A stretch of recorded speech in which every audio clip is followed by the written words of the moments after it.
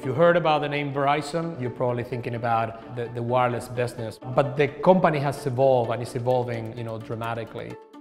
We want to be at the center of how the digital world, the digital economy evolves in the future.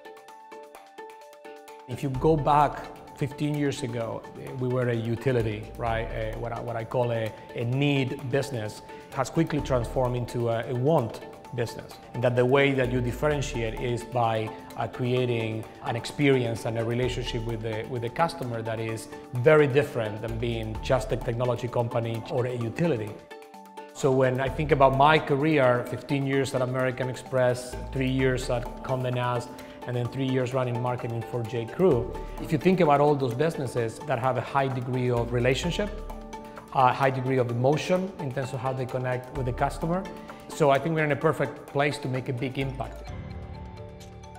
Our model is a little bit unusual because we don't work with uh, a huge number of agencies. I don't believe uh, you can drive um, marketing um, business performance by changing your agency every month. And, and internally, I think it's, uh, it's an interesting, a lot of people ask me about uh, 140, this place that we are right now uh, which is our in-house uh, creative team. And people ask me, so is your, is your idea to replace your external agencies? And in my mind, we want to create this internal group, one, so we have more control over the aesthetic and the, and the voice of the brand, but also so we can be faster uh, to market in areas in which that is required.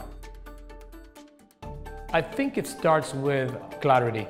For example, the work that we do in CSR, in social responsibility. And we decided a couple of years ago uh, to focus primarily on education and education through technology. So we said, if our purpose is delivering the promise of the digital world, we need to enable these kids to understand technology and deliver that technology to them.